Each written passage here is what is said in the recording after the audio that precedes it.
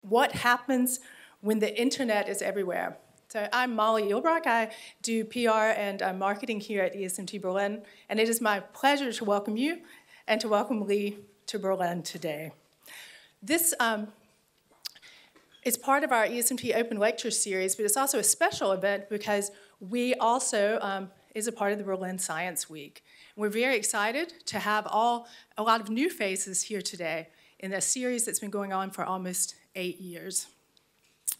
So, what could be more current than the questions surrounding the ever growing importance of the Internet of Things? I really don't know. And I do hope that Lee gives me some answers to um, what, yeah, what's my life going to look like in about 10 more years, and maybe in two years. I don't know. If you look at the commercials, I watched some TV with commercials yesterday, and it was all about the smart home. And I was like, hmm, okay, do I want it? Do I not? Don't have it right now. So Lee Rainie is Director of Internet and Technology Research at the, research, the Pew Research Center based in Washington, D.C. He's an expert on so many things that I'll just have to read my list internet and technology, smartphones and mobile technology, social media, the future of technology and work, and there was many more. I had to stop the list at that. So he's a great addition to our series. The Pew Research Center has issued more than 650 reports based on surveys concerning people's online activities and the internet's role in their lives. In 2014, the American Sociological Association presented Lee Rainie its award for excellence in reporting on social issues. Lee Rainie graduated from Harvard University and has a master's degree in political science from Long Island University.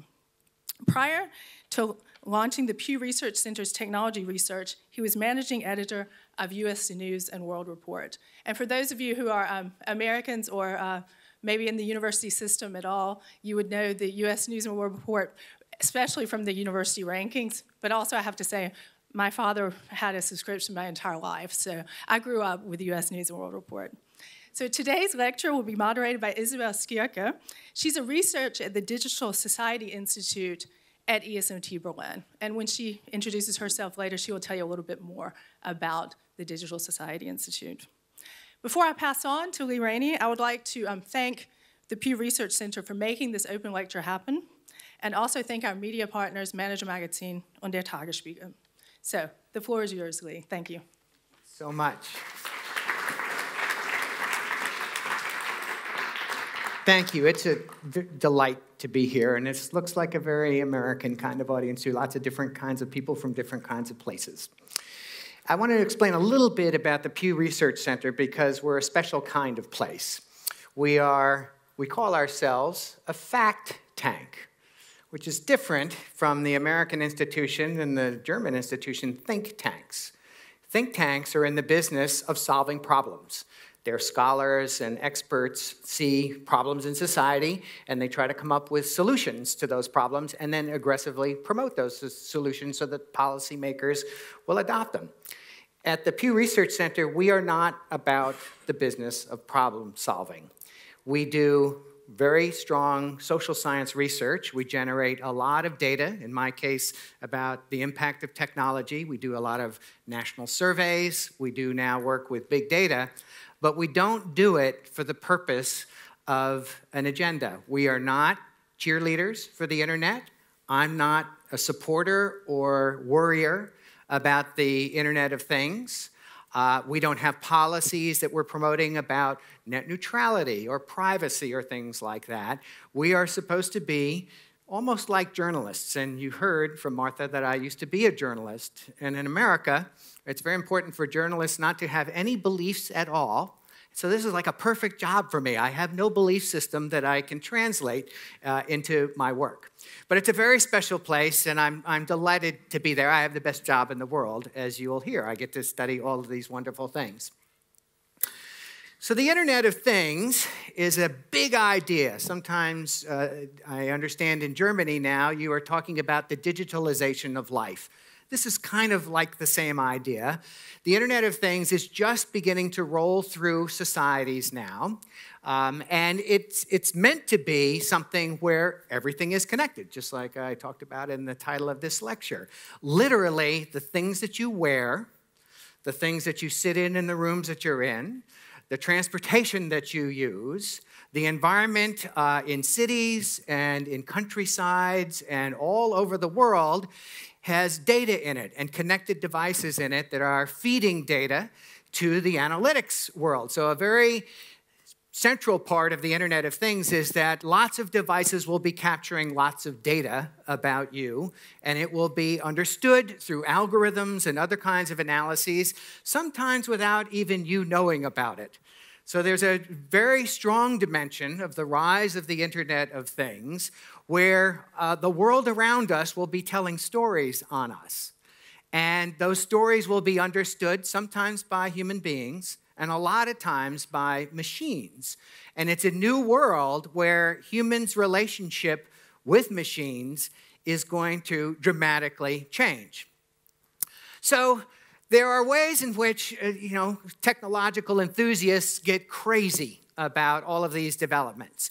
There's an American consultant firm called Gartner, and they have now watched how there is a pattern to the way that communications technologies roll out in the world, and particularly how they are understood by their cultures, by the journalistic community, by the technology community, and by the policy community. And it goes in kind of an arc. And there are, at the top of the arc, at the top of that curve there, is when they are most hyped when they are most, people are most enthusiastic about their implications and about all of the great things that are going to come from these technologies. And then the technologies hardly ever live up to that original enthusiasm. So there's a collapse in the enthusiasm. And then eventually, as societies learn how to embrace things and adapt them to their own needs, then there's a little bit more enthusiasm, but it's gradual. So you can see at the top of this chart, the Internet of Things last year, according to this consultant firm, was, was at the very peak of the enthusiasm and hype and uh, embrace of the Internet of Things even before it is coming into being in lots of people's lives. It will eventually get to that, that trough, that, that place where it's not really working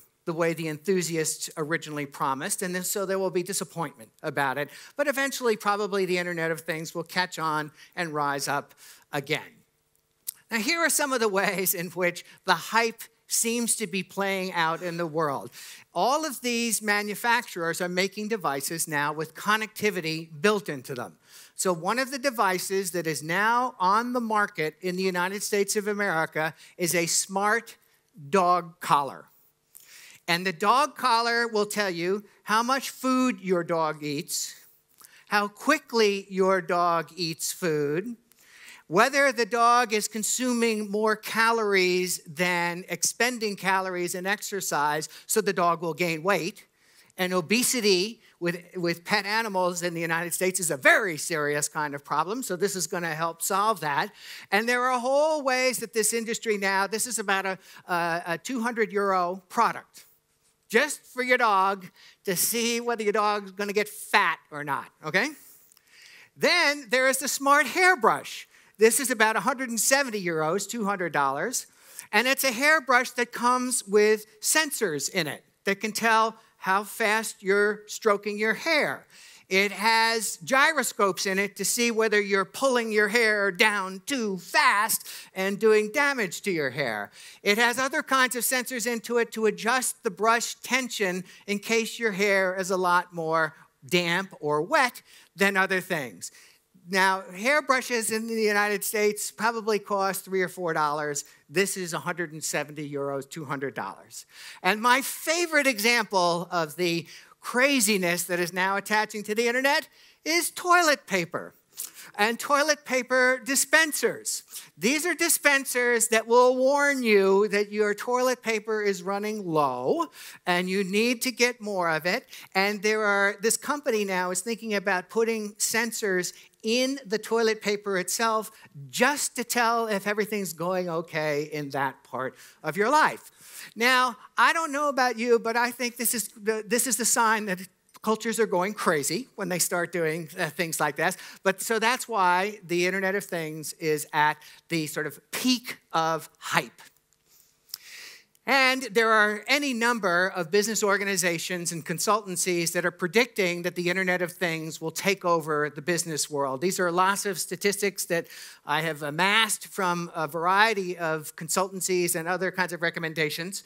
But it talks about 60% of manufacturers will use analytics, that all the data that are fed. One of the things in that hairbrush um, was that there was going to be an app on your smartphone to give you uh, a running uh, set of uh, calculations about how well your hair was doing. Uh, for some reason, I'm not particularly worried about that. Um, but there are ways in which all of these analytics now get fed into apps and, and other kinds of things. Uh, there's an economics firm that talked about um, 75.4 billion worth of connections by 2025. Now, some of this uh, is talking about connected devices that are very small. One of the elements of the Internet of Things is called smart dust. And there are ways in which, you know, particles, uh, very small particles with very small sensors of them, can be scattered into places or rooms or parts of the environment and feed data. So that in a way, is not a very dramatic number because the expectation is that lots of, lots of devices and lots of appliances and lots of parts of the world will have sensors in them, and those sensors get counted as connected devices. There, there's an estimate about um, how much spending, uh, particularly American businesses, are going to do on this $267 billion. There, there is a, estimates by General Electric, one of the big American manufacturing firms, that revenues of uh, up to $11.1 trillion will be generated by the Internet of Things in the coming 15 or 20 years. And Cisco says that the home to, connected home and machine to machine connections will triple online traffic.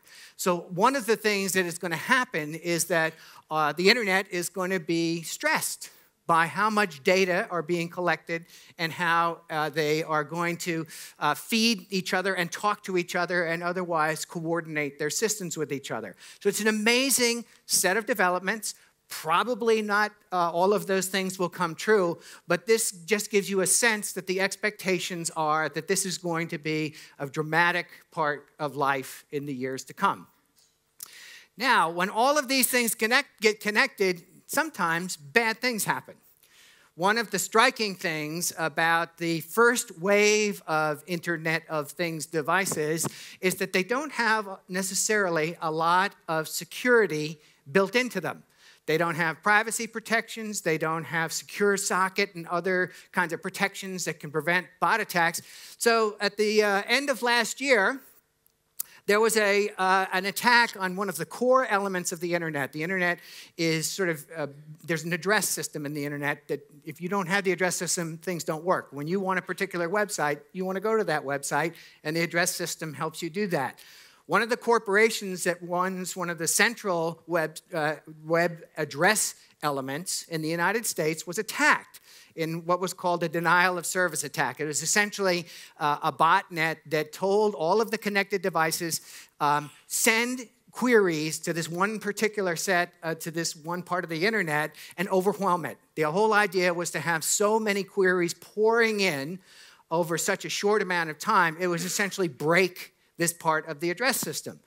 And it did. It broke them. And all of the devices that were used as part of the attack were compromised elements of the Internet of Things. My favorite one, uh, favorite actually examples are baby monitors and light bulbs. You know, there are smart light bulbs that you can plug into sockets now that tell you a lot of things about the light bulb and how it's used. But the light bulbs are sold without security protections very strikingly put into them. And baby monitors, you know, parents want to listen to their babies in the next room and make sure the baby's sleeping well and make sure the baby's breathing and things. Well, they're also sold without protections in them. And these were compromised by this botnet and then told at this moment, feed a query towards this part of the address system of the internet, and it shut down, at least in the United States, it shut down some of the most major websites for hours. Amazon, Netflix, Target, the big department store, PayPal, the New York Times, the Wall Street Journal, Twitter, CNN, Comcast, Verizon, which are American telecommunications companies. Zillow is a uh, real estate site that's very prominent and very important in the America system. And so, this whole, by attacking this one part of the internet, by these Internet of Things devices, they shut down part of the internet for a serious amount of time. There was an even worse attack called WannaCry that shut down um, Russian websites, the British medical system, and big parts of uh, the North American internet that was uh, also part of a major botnet. And the attack mechanism was developed by the United States National Security Agency, one of the major intelligence uh, agencies in the United States. The National Security Agency website was compromised all of the ways that they were thinking that the attacks could be mounted against other sites were stolen. And so all of these techniques about how to compromise the internet that were developed by the NSA were then pro- promoted on the internet, and one of them was used in shutting down a part of the internet. So the security implications and the privacy implications and just the problems of all of this connectivity can also be exploited by bad folks. So we ask experts. One of the things that we do, in addition to the uh, surveys that we do of citizens of the United States, as well as a part of our uh, effort is also citizens of other parts of the world, we ask experts sometimes what's going to happen in the future. Because regular people sometimes don't have a really decent sense of that, but people who are in the industry or scholars studying it or people who are building the internet know a lot about where things are heading. And so we've asked about how the Internet of Things is going to roll out. And this is what uh, they told us in a, a piece of work that we did not too long ago.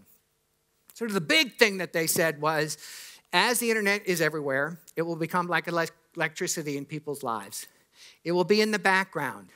You won't even think about it when you're online because it will be so many places that the only time you'll notice if the internet is in your life is when it's not working. Think about today. You walked into this room, right? And you sat down and you didn't say to yourself, oh, thank goodness we're on electricity, right? Was just assumed to be part of the room. The lights were on. It was a beautiful day. The only th- time we'd think that the electricity was part of our lives is if it weren't working and I, my show couldn't be shown or something like that. Well, the internet is eventually going to get to be that way, according to these experts. And they had a bunch of positive things to say about the rise of the Internet of Things, and I'll run through some of those themes. The first is that as all of these data are collected, we're going to know a lot more about ourselves. We're going to we're going to be smarter about how life proceeds because there's going to be a lot more data and companies and scholars and people who care are going to be able to know a lot more about how societies operate and we'll be able to deliver new tools that will make life safer and smarter and much more convenient for people. If this stuff works correctly, we will have an easier time moving from point A to point B.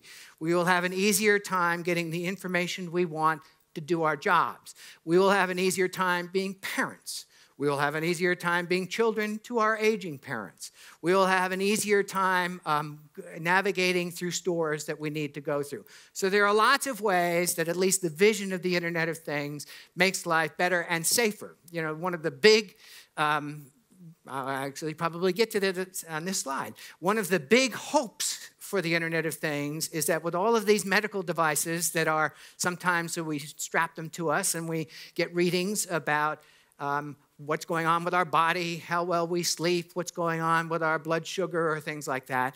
There are ways in which the accumulation of all of these data will help in the healthcare industry. One of the great frustrations of a lot of, especially American experts, is that of all of the parts of life that the internet has disrupted and changed for the better, healthcare is sort of the least impact. Healthcare and education are really the two areas where there's been less dramatic change than, for instance, there's been in journalism or publishing or book selling or any of the media properties. And so there's now some hope that the Internet of Things might make all of the um, the advances of the internet much more useful to the healthcare community when we're reading our own data, sharing our own data, and medical experts can understand uh, our worlds better. You'll also just be more aware of what's going on around you. That was, you know, your memory will improve when you can uh, access lots of information about what's going on in your life or what's going on in members of your family's lives or your work colleagues' lives or things like that. There's also a way that this is going to deeply disrupt business. One of the striking, uh, dramatic examples already of the Internet of Things is it's helping in the supply chain of businesses. It, it, there, there are ways in which things, well, let's take an example of a farm product. There are ways in which now the Internet of Things is telling farmers when to water their fields and when to add fertilizer to their fields because sensors in the soil are telling them what the crops need. There are ways in which that once the crops are collected, they will be put in smart baskets. So you can see when the, the, the fruit was picked, when it was put in the basket, and when it would began its journey through the shipping system. The sensors in those baskets will tell the companies how, where uh, on the trains or the trucks the fruit is that they're expecting at their stores. Once it gets to the stores, they will be able to tell how fresh it is, what farm it's come from, whether farms are compliant with uh, regional laws or national laws. And it will be able to tell the consumer, you know, your piece of fruit came from this farm, traveled this many days, got in your store on this day, and was made available to you on this day. And you can, you, you'll understand a lot more about the products and services that you get. There will also be ways that as we get more connectivity in the world, we're going to have a lot more um, uh, capacity and leverage because we're going to have smart agents operating in our behalf. You'll be able to tell uh, your friendly personal bot, you know, tell me what the weather's going to be on this day, or tell me what my meeting list is on this day. Tell me how soon I'm going to have to leave my house to get to the meeting I need to go to. Tell me about the people who are going to be in the meeting, and remind me what I'm supposed to prepare for uh, for my presentation at the meeting. So there'll be lots of ways that uh, that uh, we will have agents working on our behalf, and there'll be lots of ways that we interact with each other because we will have these vivid um, encounters that aren't necessarily person to person. We, my hologram will talk to your hologram and we'll get some business done. And maybe that will make me a much more efficient person. But it also will mean that um, rather than worrying about the internet being um, something that alienates people or removes them from um, life, there will be ways now that we can interact with each other that will seem very real and meaningful. That's what people say about the Internet of Things. And finally, t- there's a way in which uh, all of these sensors and all of these products and all of this environmental data that are being fed to us will just mean that we know what's going on in our world. We'll know where climate change is having its greatest effect. We'll know where uh, heat outbreaks are. We'll know where there are floods. We'll know where um, snowfalls are, are smaller than they used to be. There will be lots of ways that we will understand our world um, because we are getting evidence from it from the Internet of Things. So, sounds like a pretty good vision, right? But these experts also say that's not the only part of the story. A lot of good things have to happen for that vision to be realized, and along the way, there are problems that we potentially will encounter. The first relates to privacy. When our phones, when the rooms, when our cars are feeding data about us, guess what? You don't get to be private as much as you used to be. And all of these data are in service of all of these applications that are supposed to make your life better, but you are going to be understood in a much more intimate way when essentially your phone becomes a spy on who you are. And there are lots of concerns that as, as we evolve into this system, that some people will be able essentially to buy their way into privacy, but other people won't. Uh, you'll have to be smart, you have to be digitally literate, you have to have the capacity to turn on and off uh, the systems. Uh, and so there are ways in which smart, connected people will be able to take advantage of all these good things without compromising their privacy. But lots of us won't know enough or won't have the capacity to turn off the systems when we don't want them to be spies on us.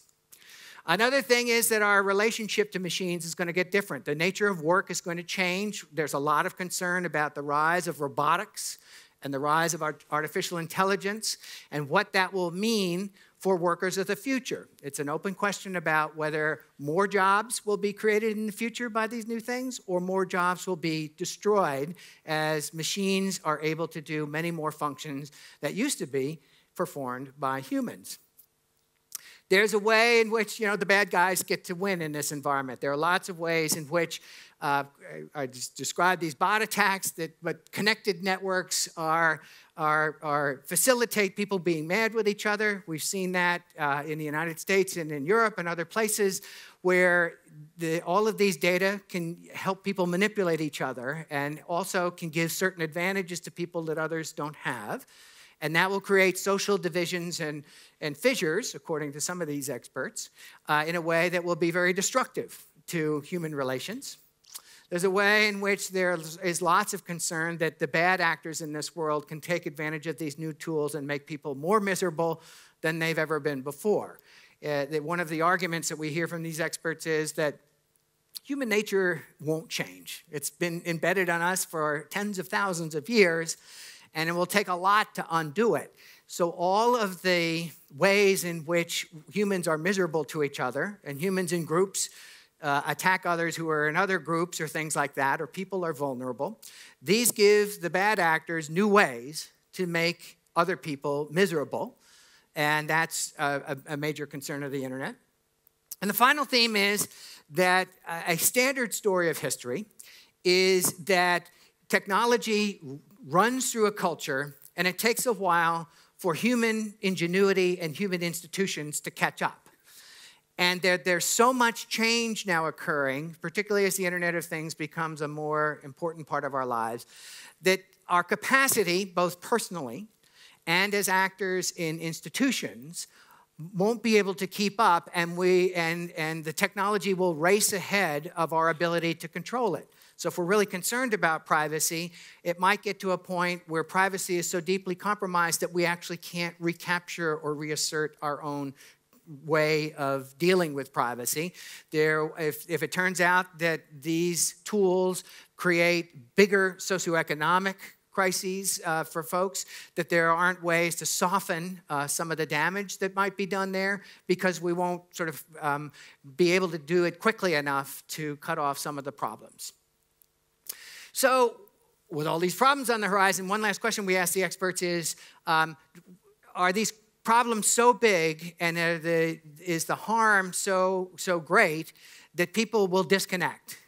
Uh, that they, what we now know as highly connected life will actually will see people uh, moving out of it. So we asked experts uh, this question. Do you think some of these problems will be so great that people will disconnect? And almost all the experts say probably not because connected life is sort of assumed by the manufacturers. They're making stuff now. It's going to be harder and harder to buy things that aren't connected. And that there are all sorts of other advantages. People in general, when they face a choice in their life, they like the convenience of these things. They like that they can do things more efficiently than before. They like that a bot might act as their agent in the world. And that is something that matters more to them at the immediate moment than their privacy or the long term uh, impact of these things. So there's some sense that we're going to keep moving into this connected life no matter what those problems are. that brings us to the last time, you know, there was a dramatic example of people fighting back were the Luddites in Great Britain who hated that um, looms were taking over the jobs of weavers. And they, there was a movement that started and they smashed some of the looms in those places. And now it's a, it's a term, at least in English, that is a uh, dismissive and derisive term. If you're a Luddite, it means you're against progress. You don't like machines. You don't understand the forces of technology. Well, there are some of these experts who say now that these set of issues and concerns related to the Internet of Things might produce another movement where people want to return to a simpler life without technology, even if it means giving up some level of connectivity, even if it means giving up some level of efficiency, even if it means that you have to give up this thing that feels like a body part you know, that, people won't leave home without it, but it might mean that there are some people who will disconnect. It's not entirely clear how big it will be, but there are ways that the forces in these cultures are probably unfolding that we'll see at least some of this uh, in a new form in this age. With that, I will leave you and thank you, and Isabel and I will start a conversation. Thank you very much.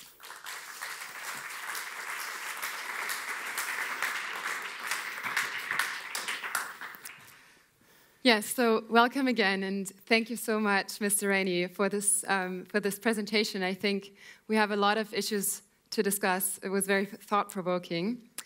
Um, just to introduce myself again quickly, I work at the Digital Society Institute. That's an institute here at ESMT Berlin. It was founded last year, and we focus on very similar issues in our work. Uh, we focus um, specifically on information security and privacy concerns that arise from the digitalization of our societies and of everything in the Internet of Things. And um, we work together with industry and policymakers also um, to look at solutions to uh, the challenges that are, um, that are arising from these developments.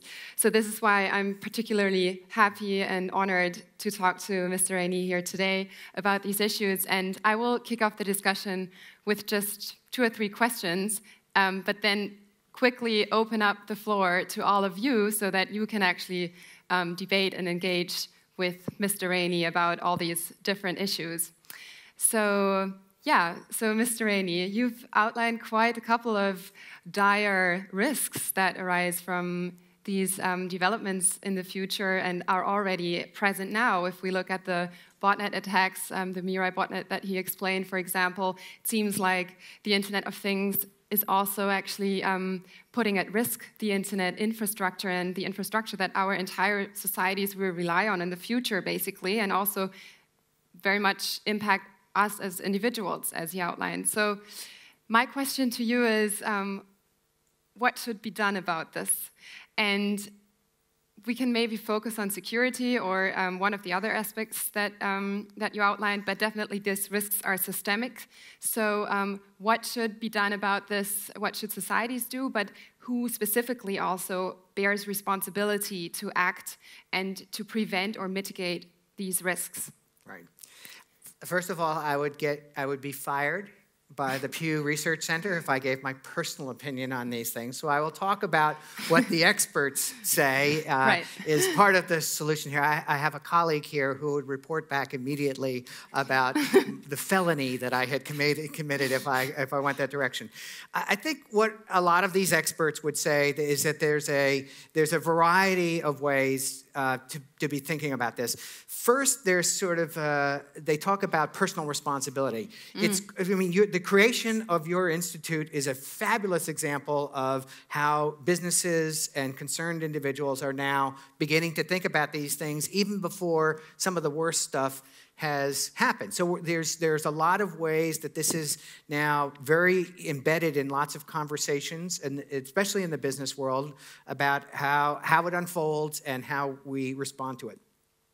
But, the, but one of the arguments that these experts make is still it starts with individuals who have to be a bit more aware of what they're signing up for when they get these devices. Partly they need to study it, Partly, they, they, there's a lot of talk in, in America about other new literacies that need to be incorporated in educational programs. So it's not just reading and writing and speaking that these experts say, you know, the standard literacies that matter, but that there are ways in which technological literacy, information literacy, and in some ways, gadget literacy. What are you doing when you're buying a smart light bulb? What are you doing when you ask your bot to get you a quart of milk at the, uh, at the local grocery store? So there are ways in which individuals have to sort of take charge of their lives. There's also the, the big public policy thing, at least in the United States, that lots of experts um, support is this sort of in, in, introducing this kind of conversation into school programs, particularly at younger levels, so that you know there's a lot of worry that uh, uh, that that children are spending too much time on screens. And so there, there's a way in which you can talk about that in educational settings, according to these experts. There are ways in which um, they think about the companies themselves. So there's, there's a lot of confusion about privacy. And then you, when you sign up for an app, you know, on your smartphone, you have to usually go to a terms of service button and you agree that you will live by the terms of service. No Americans read those terms of service. They're too long. They're too full of legal language that people don't understand. So you just want the you just want the app. So you immediately hit the I accept button, and all of a sudden your phone becomes a spy on you. So there are ways in which um, these experts think about um, a, a, little bit more clarity, a little more simplicity in, the, in your device, sort of saying. By the way, I'm reminding you, I'm capturing information about where you've been. I'm capturing information about what other apps you've used on your smartphone. So there's disclosure and transparency. And at the final level, there are, there's, there's some talk about, um, at the larger policy level, about you know, product safety issues that lots of societies have um, ministries or agencies that review whether consumer products are safe or not. And you can't sell a car that doesn't have brakes on it. You can't sell a baby crib that where the slats are so wide that a baby can get stuck in the, between the slats of the crib. Well, there, some of these experts talk about a regime of, of product safety and product security that the government um, that they wish that the government would monitor. So it's it's a variety of things. Okay, thank you very much. Um, and so my my second question relates to. Um, you know, you were showing a, a, world map, and obviously we see that the internet is everywhere, and um, you know, it's uh, we have a lot of big technology companies, for example, in China that drive this innovation as well. And so my question is whether, for example, in your interviews, expert interviews, but also um, the uh, individuals you asked. Um, what are your impressions of how the Internet of Things affects um, people in other regions of the world outside of this um, transatlantic space that we are uh, in here, let's say, um, for example, in China or India, um, these developments uh, might also um, have a different impact on people's lives, also considering the regulation um, around those and the use by governments or companies. So, what is your impression of how uh, users experience the Internet of Things maybe differently around the world? It, it, the Internet of Things will definitely uh, proceed through different societies at different speeds and with different impacts. And so, one of the most striking things that's happened maybe in the past five years is that lots of countries in some regions like the EU have become much more attentive and much more concerned about the impact, particularly of big American technology companies.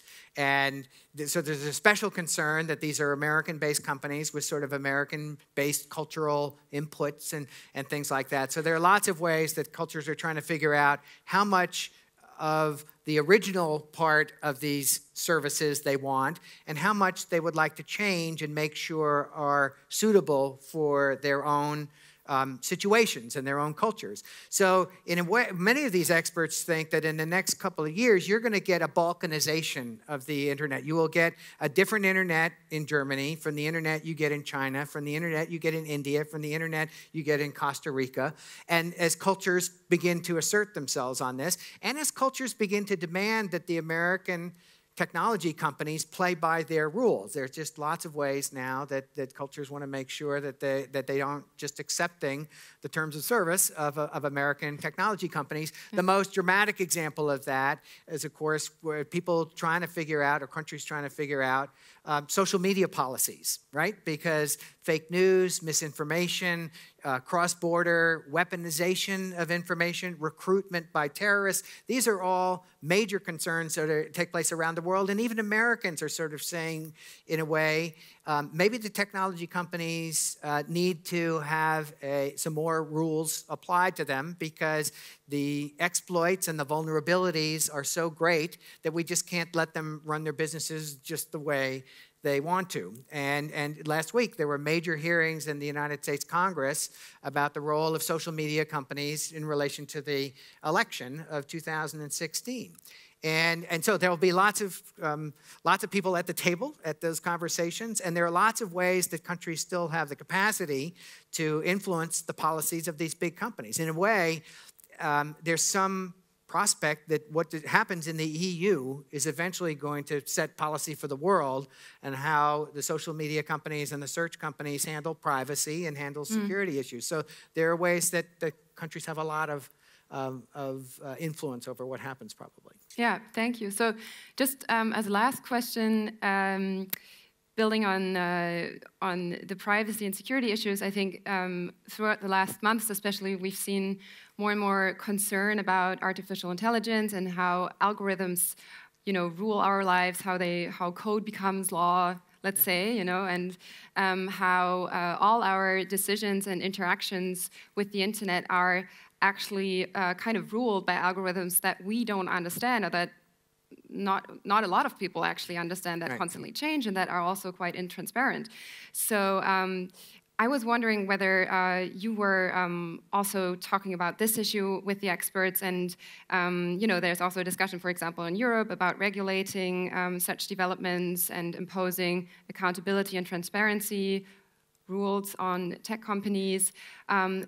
Was there uh, any kind of concern among the experts about these developments and about how to, and maybe ideas about how to uh, safeguard fairness in society so that you as an individual also can, um, you know, regain control over how you are judged by these algorithms? Yes. Um, there's a lot of concern, and it actually, some of the great American technology leaders are at the, the leading edge of that concern. Um, Bill Gates, and Elon Musk, the creator of the Tesla car, Stephen Hawking have all warned about runaway artificial intelligence that essentially escapes the capacity of humans to control it. So there's a lot of talk in, in, all over the world about the impacts of this. One, one of the things that experts point out is that for all of the data that are being collected now, and maybe in the future, there are still limits to it. And there are still cultural biases that are built into it, particularly how the algorithms are organized, because algorithm writers have their own experiences. And even if they um, are not trying to be biased or not trying to discriminate, um, there are ways in which these can push towards unfair or unequal outcomes. One very prominent example in the United States is that the city of Boston it's in the north, so it has a problem with potholes, with just holes in the pavement that during uh, heavy winters, the holes get bigger and it, they ruin cars and they just make life miserable for people who drive in Boston. So the city thought it would be a great thing to use the gyroscopes in smartphones and use the, G the GPS data, the, the geographical data, to figure out where the potholes were. So you could download an app that was developed by the city of Boston to put on your smartphone that all you had to do was keep your smartphone on.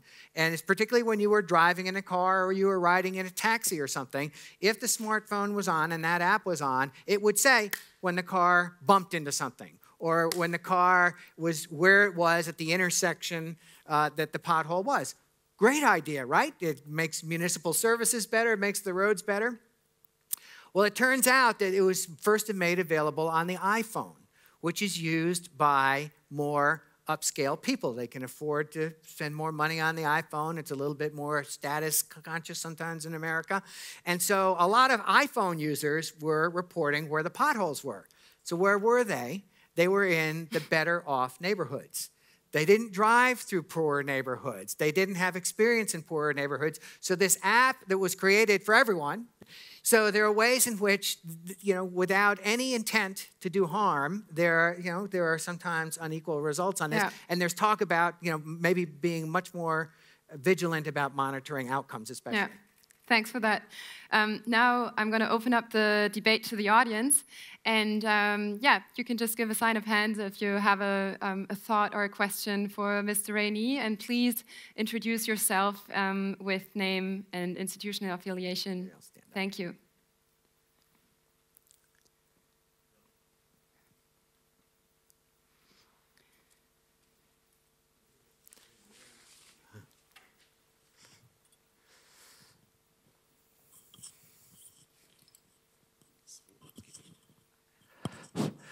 Thank you very much uh, for your uh, statements. And Thank you. Would you agree that uh, we are creating a second universe, a, kind of second uh, uh, mankind, uh, like the, the scholar of the, the, the witch uh, uh, who who walks this way? He, he his, be, is in his, is, it's in his nature, and, and that the biggest failure, the biggest mistake maker will be the, the, the human being, at least uh, when we have this algorithm uh, universe, this this that uh, uh, second uh, world of mankind, and and and um, would you agree that we we we as we, we regard history of, of between the worst case and the best case, uh, uh, that we we uh, um, have immense immense dangerous. Um, we are walking to to an immense dangerous possi possibilities. I mean, and is able to have, for instance, uh, at one day the DNA of the whole world population, and then we don't need weapons. We can have these bee-size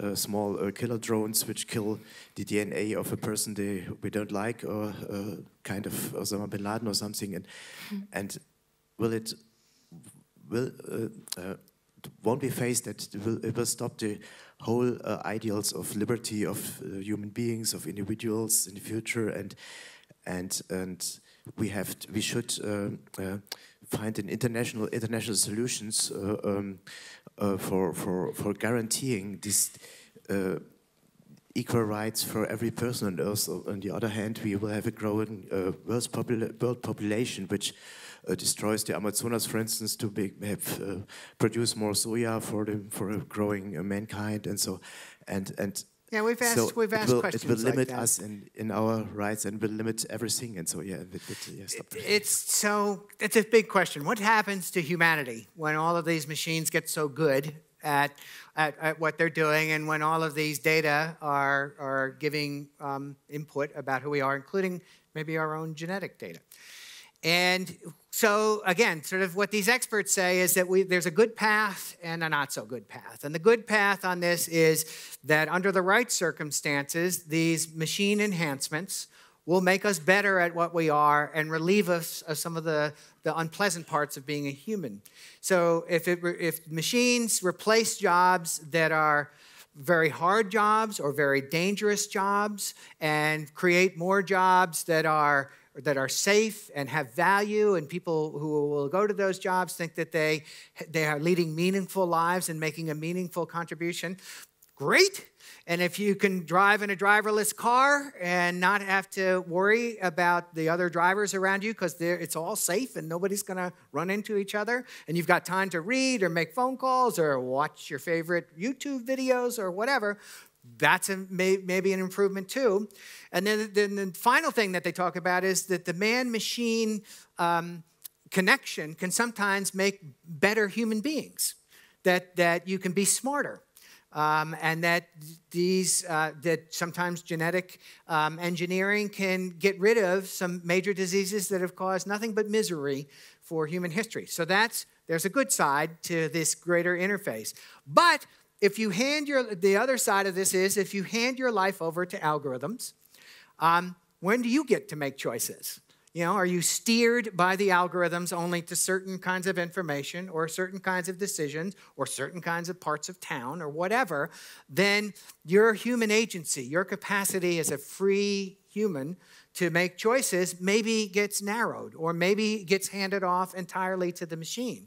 There are ways in which, you know, people in the wrong hands, people will use machines to cause all sorts of trouble for people that they don't like. And, and so there's unfairness and there's, um, there's contention and there's sometimes violence um, that comes from that. Uh, and so this is, these are big, these are big questions. And I, I, my guess is that there will be institutes like yours that will um, probably th- be thinking through lots of this stuff. And in a way, one of the privileges we have of living now is that we can think we're, we're, we're ahead of when the worst is, is yet to come. So there's a way in which conversations and policies can be steered towards the best stuff and steered away from the worst stuff. Um, so it's a, it's a, you know, we've got choices to make now.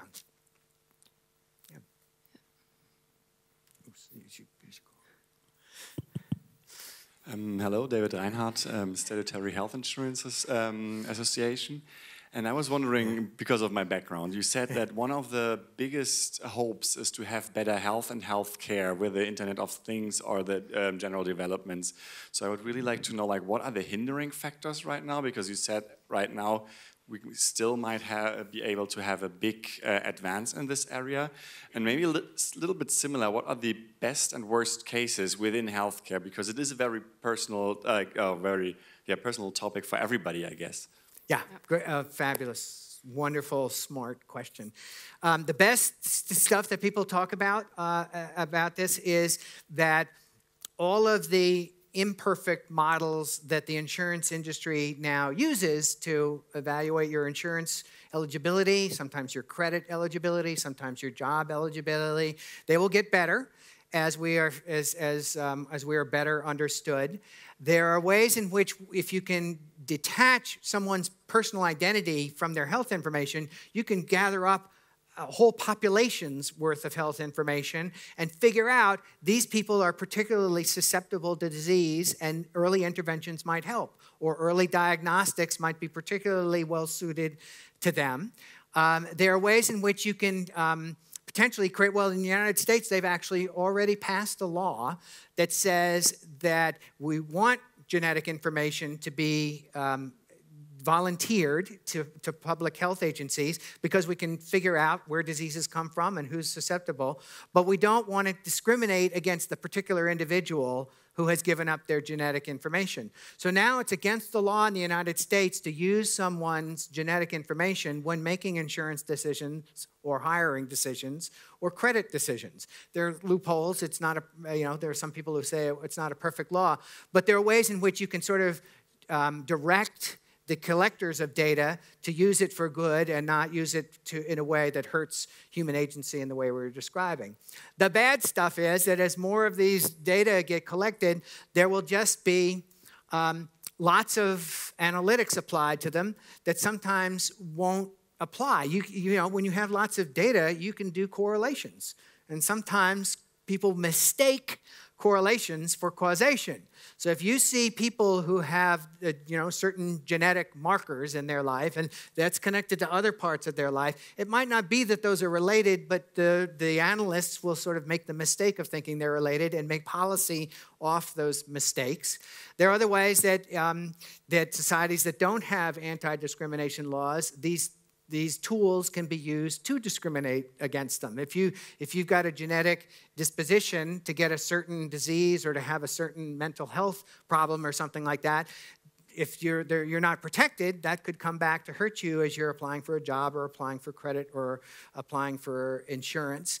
And so there, there are ways in which this, again, sort of goes in both directions. Uh, and there's a lot of conversation about how to make sure the best is honored and the, and the worst can be sort of worked against. Does that make sense? Okay, thanks. Oh, thank you. I'm Van Heinitz, I'm a consultant. Mr. Rainie, I would like to understand um, whether you see in the data you collect from the expert panels a discrepancy with the data of the general public. The background of the question is whether the um, expert panels are to some extent self-serving in their views of the future development um, let me phrase that question in a different way. Um, I was surprised that you said on the, on the dark side that there may be um, a lot of unemployment resulting from uh, advances in digitization. Okay. I haven't heard whether there are clear evidence that there are productivity gains. Recently, we have seen productivity losses, or at least not as big gains, advancing in overall productivity. Mm -hmm.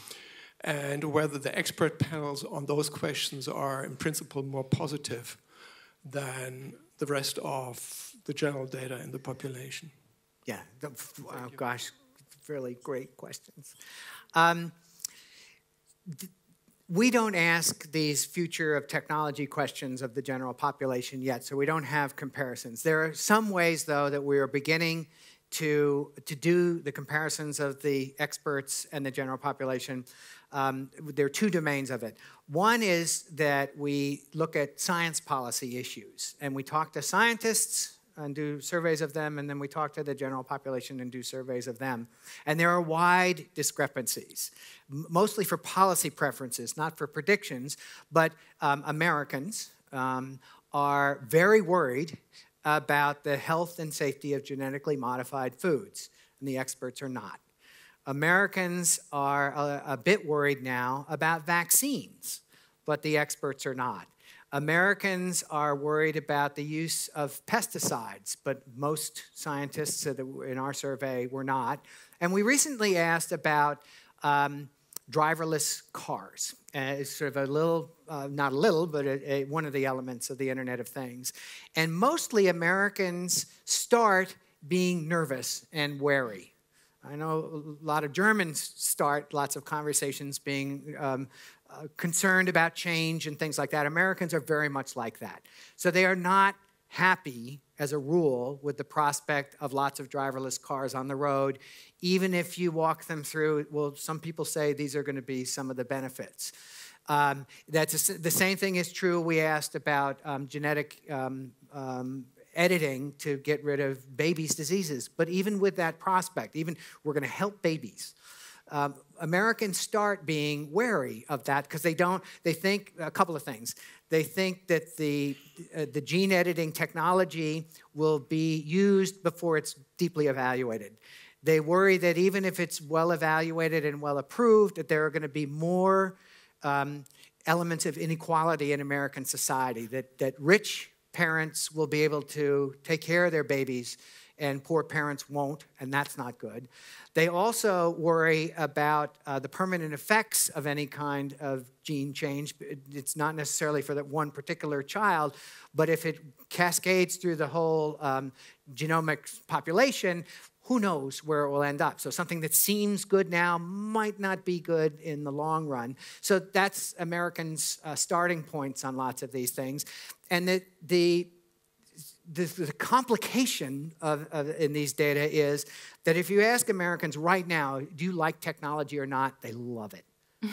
They, they won't give up their smartphones. They love the internet. They know all of the problems. They're worried about distractions. They're worried about what it's doing to our brains. But if you ask them, on balance, thinking of all the good stuff and all the bad stuff, is it, is it something you'd like to have or not? The vast majority of Americans are for it. So, in a way, they're, as they're thinking about their current lives, they like it a lot, just the same way the experts are sort of thinking that the futures might be bright.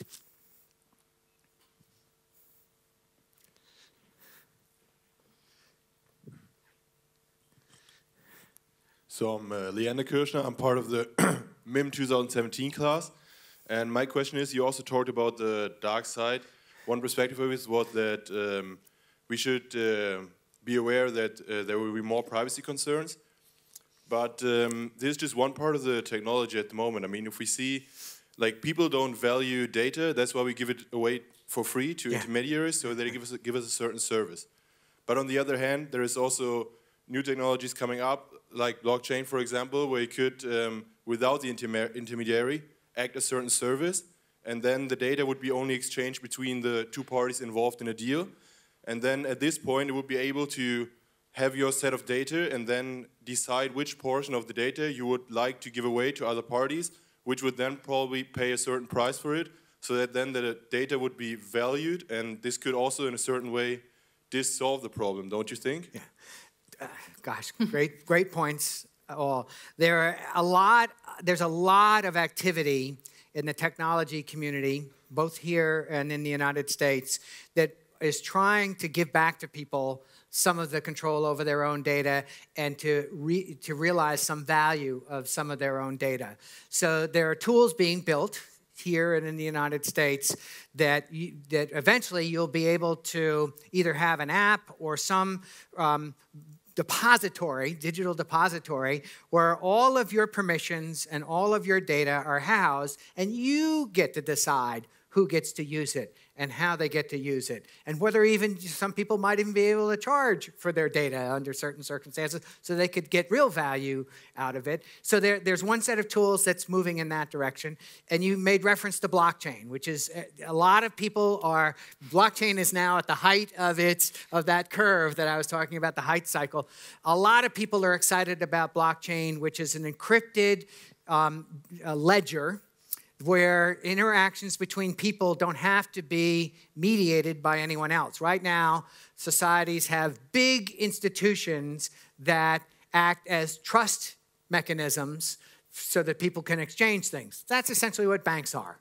You know, banks basically say this person has this much money, that person can get some of that money under the authorization of the first person bureaucrats in many respects are, are trust agents. You know you say the government um, keeps birth records right? And to, in order to get a government id you need to go to the right ministry and prove that you are who you are and things like that. There are, people talk now about blockchain as taking a lot of the middle actors and the middle trust institutions out of the equation. I'm dealing with you you're dealing with me. We register this on a blockchain that can't be edited by anyone, and everybody gets to see what, what happens to my money as it goes through the system, or everybody gets to see what happens in gaming environments. Blockchain is now being used in gaming environments. So there are ways in which people and the technology community is trying to restore some level of balance between the companies and the individual actors. Yeah, and it's it's. Um, it's uh, it's kind of feels like an arms race, uh, and it's not. Uh, you know, these experts are not yet convinced that blockchain is going to have all the magic in it that that some of the promoters do, but the other people are saying it's going to be transformative. I mean, one way to think about blockchain is if you're old enough, like I am, you can remember back to the early 1990s about the enthusiasm for the internet. Sort of, you know, really smart engaged technologists were going crazy. This is going to change everything. And a lot of times they were right. Well, that's how much excitement there is about blockchain now. It's, it's that it, people are thinking that it's going to um, restore some level of personal exchange related to trust, and we're going to get rid of a lot of uh, sort of waste and friction in the system that exists now. I don't, uh, you know, these experts aren't, aren't convinced quite yet, or a, a number of them are, but not all of them, is the best way to say it.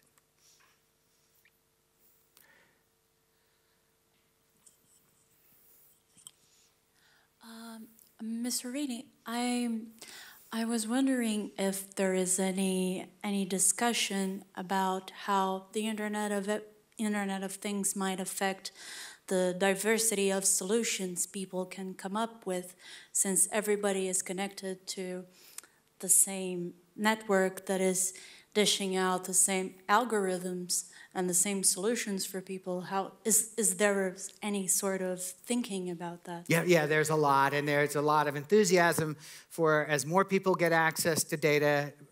Um, think of open source communities. Now people are talking about open data consortiums and things. And so anybody might be able to access the same data set that experts were able to access. And that you, you do get diversity out of that, or you get people coming at problems and solutions from, from different angles. So there's a lot of, a lot of, there were in the United States, probably here, there's a really interesting sort of open governance, open data, open government movement it's, it's mostly geeks. It's not the population. Uh, people don't, Americans don't want to deal with government when they don't have to. Uh, but there are ways in which, you know, th this community says governments collect a lot of data already.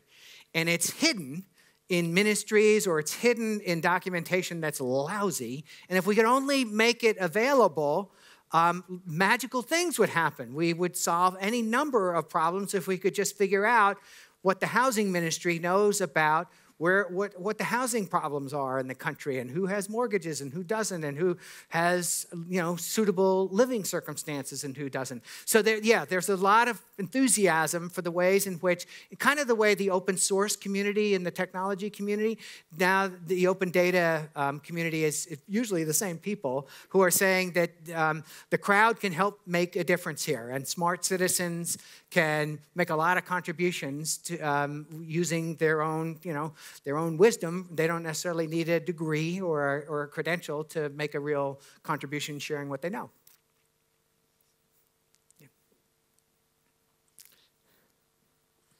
Christian, Christian Dolbner, consultant.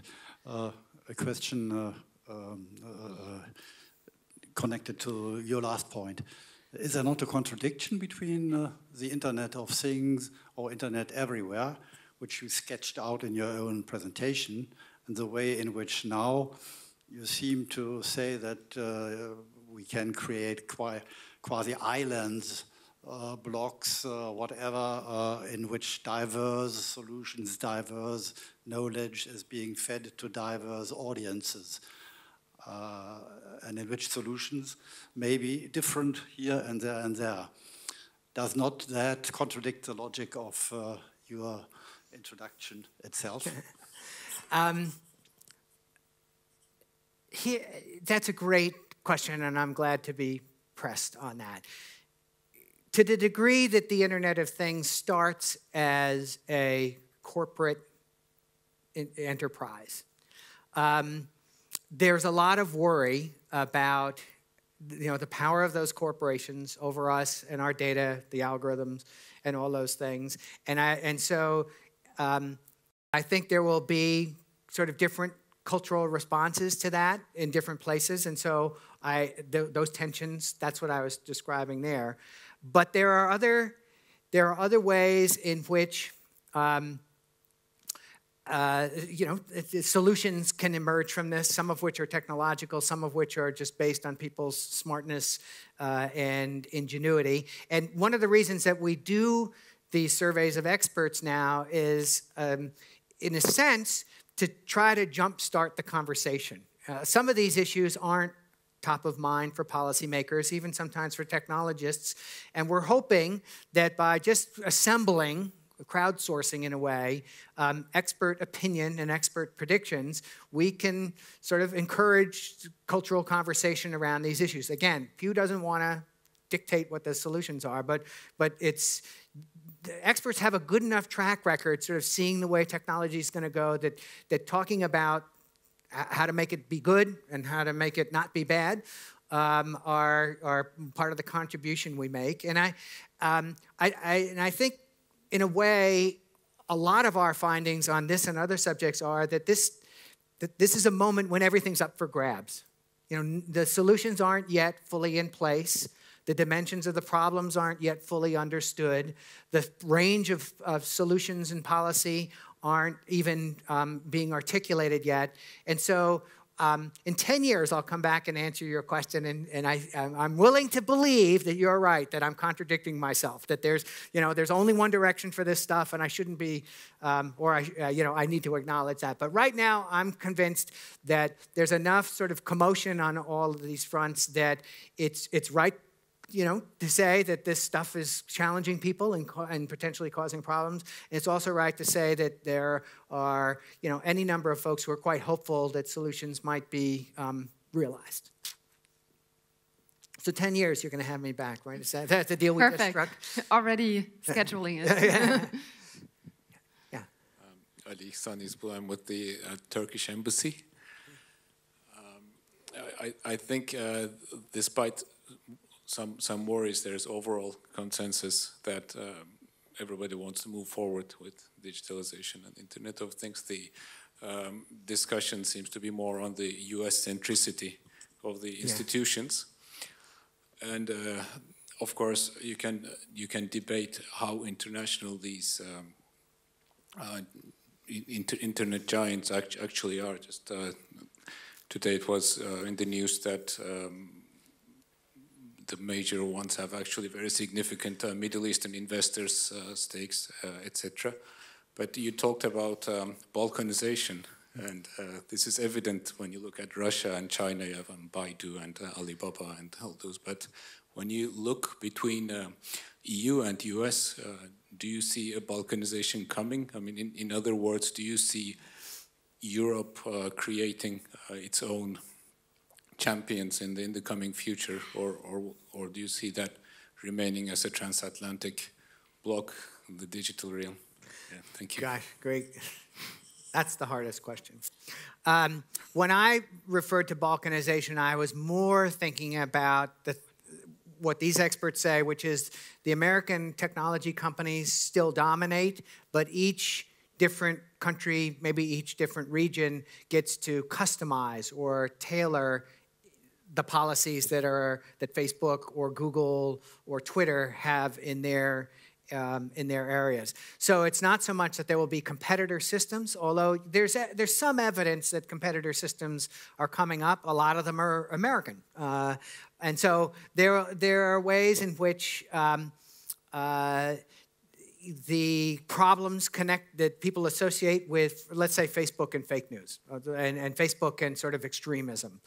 Um, there are now technology companies that are on both sides of that um, issue. There are some, some that are coming up that sort of say Facebook is actually becoming too polite and too much a sort of truth ministry, and we want free speech, and we want it to be as radical and crazy and, and sometimes even hateful as it's meant to be. So uh, that's what our site's going to be about. There are other sites that are coming up at the other end, sort of saying Facebook is too hostile and creates too much uh, tension between people. Here's a safe place to be.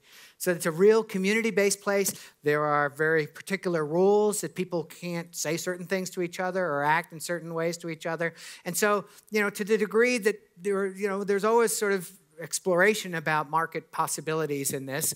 And I'm, you know, there's a and so there will be sort of country versions of that, my guess is too. Whether they ever get as big as Facebook or Google, who knows? But um, the other way that balkanization occurs is, is at the policy level where somebody, the EU or even American policymakers or, or somebody else, basically says, no, these are the new rules of the road. They, they're, they're actually um, after some privacy issues related to both Google and Facebook, they have Justice Department people now monitoring some elements of their businesses. And you can see how, if that becomes a concern for more kinds of issues, that'll happen too. So I don't know if there will ever be a Turkish uh, you know, a powerful company like Google or Facebook or something like that. But there will be ways that this, you know, there will always be tests at the edges about, um, you know, different kinds of technology solutions to this thing. The other thing is that the, again, sort of going back to the open source movement, um, there, there will be ways that this, um, that, that uh, you know, uh, citizens themselves or just users will come up with their own solutions. GitHub is a, is a great example of, of how a community is sharing incredible amounts of technology, learning, and information um, with it. Uh, there's a friend of mine um, has just launched a research initiative um, because there's a um, citizen science movement in the United States around creating essentially an artificial pancreas. Pancreas is what goes wrong in diabetes. It's the one that doesn't produce the insulin in the right way. And there's a woman now, a patient. She's not a physician, she's not a medical researcher. She had diabetes and it made her miserable. And she's now figured out a way with an app and data and, and, a, and a pump that gives her the insulin when it wants that she's essentially evened out. For all of us, our blood sugar level goes up and down when we eat, right? Um, and for diabetics, it goes way up and way down in much more dangerous ways. She's now got it where she's got, with this artificial pancreas or this, you know, machine assisted pancreas, she's got her blood sugar almost level. And between the extremes of when you get into trouble, uh, either at too much blood sugar or too little blood sugar. So there are ways in which citizens are going to come up with their own kinds of solutions that won't be businesses, but they will be sort of potentially amazing contributions to the health and well being of people.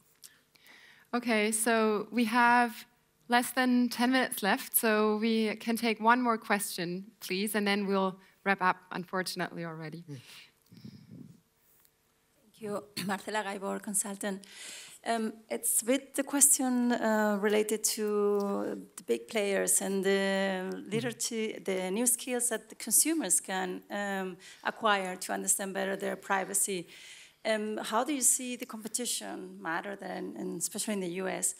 Talking about Google and Facebook, and I'm, I'm thinking about um, how can consumers actually, even if they understand and learn how to read the privacy uh, terms and, and, and, services, it's clear if they don't accept and tick the box, Right. they don't Right. get to download the app or do Right. anything.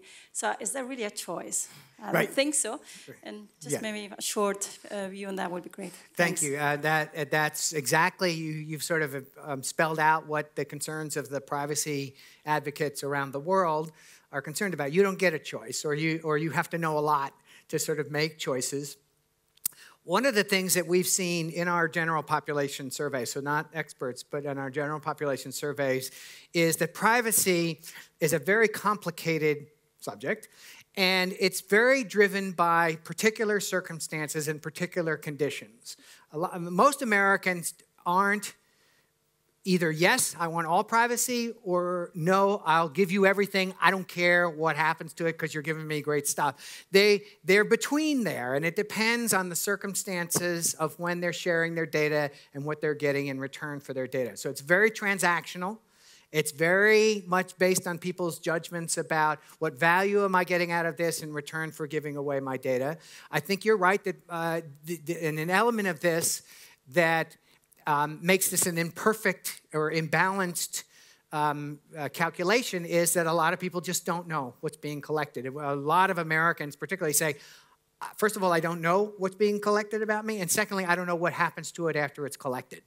And they're, they're particularly worried about what happens after it gets collected because they worry about the profiles that will be built around them, whether those are accurate or not in, in the age of algorithms, whether they are understood well enough or not. And they worry about third parties getting access to the data and having even more robust profiles done on them. And it it just bothers them. They're really mad. And what, what I don't understand in our data, just to be frank about it, is that even as people are kind of mad and certainly confused and kind of angry about how this all happens, they aren't deeply protesting. You know, we've, we've gone through it all over the world, but particularly in America, all of these amazing data breaches where companies, you know, tens and hundreds of millions of accounts and the personal information on them are exposed. You'd think that would change people's behavior. They'd stop using those accounts, or they'd stop using their credit card, or they'd at least demand some level more of disclosure and transparency by these companies. And uh, they're just, while they say they're angry, they don't actually live their lives as if they care a lot about um, the, the individual transactions or that they you know, want the policy community to address them. And I, it's a mystery in our data. When, I, when we first started doing privacy research around the year 2000, I looked at the data and I said, well, there's going to be a, a reckoning on this, that the moment will come when something bad happens, it will be like a giant oil spill. It, will be a giant data spill, and people will be up in arms about it. It's just as clear as it could be in the data. And we've been through 15 years of all of these data breaches uh, where you know, people's children's information, people's employment information, people's credit history information, people's identification information, and we just have not seen that, uh, you know, that level of deep reaction. So I don't, I don't, I'm, I stopped predicting that this is going to happen, uh, and I, don't, and I, it's a, it's still a mystery in the data in a way that you perfectly articulated. Okay. Thanks. Thank you so much, Mr. Rainie. Um, big applause for. And so we've just heard that in 2027 we'll reconvene Yes. and test all these hypotheses. and until then, we'll make sure to hear a lot from you still. Um, make sure to uh, visit the Pew Research internet site, for example, or read the great reports. Follow them on Twitter or Lee Rainie um, uh, directly on Twitter. And thank you so much for being here with us. Thank you so much. It's wonderful.